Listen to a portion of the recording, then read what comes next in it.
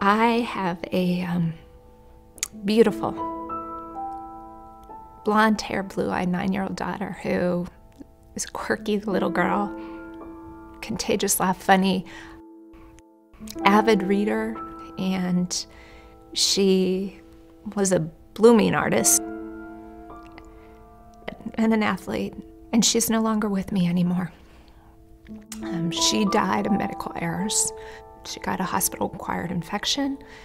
She was a classic case of failure to rescue, where all the signs were there and that she was deteriorating and no one did anything. At any one time, 1 in 25 hospitalized patients has a healthcare associated infection, or HAI.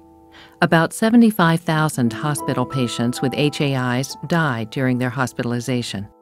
In the case of Carol's daughter, Alyssa, the hospital's response was less than optimal.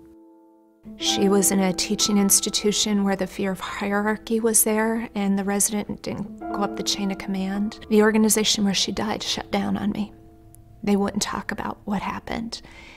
They would not give me her medical records. It took the organization where she died three years, seven months, and 28 days to have a conversation with me. Although this little girl was not treated at a Banner facility, she could have been. Unanticipated events will happen, and when harm to a patient occurs, the tendency, at least historically, is to share as little information as possible about what happened, prolonging and exacerbating the family's suffering. And if we do find errors were made, sometimes we wait to say we're sorry or I'm sorry until after the legal process has run its course, which can be a very long time.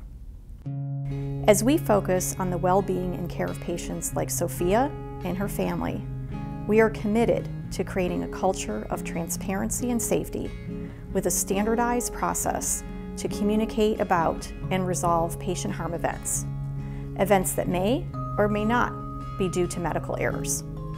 At Banner, the process we are adopting for this purpose is called CANDOR, Communication and Optimal Resolution.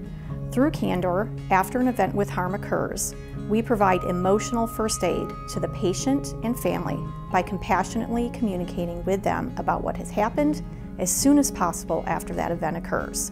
Our staff and providers can also be deeply affected by these events, so Candor includes support for those involved in the event through a process called Talk to Me.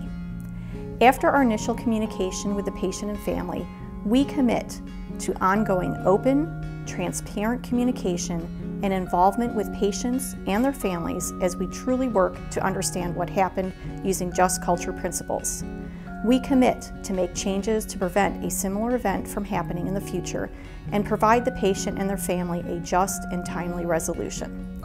The Candor process ties directly to Banner's transformation to be customer obsessed and connects with our values, driving relentless improvement and continuously building trust with our employees and our customers. As we continue to drive a culture of transparency and safety, all of us at Banner need to be prepared to identify and initiate the candor process when a serious harm event occurs.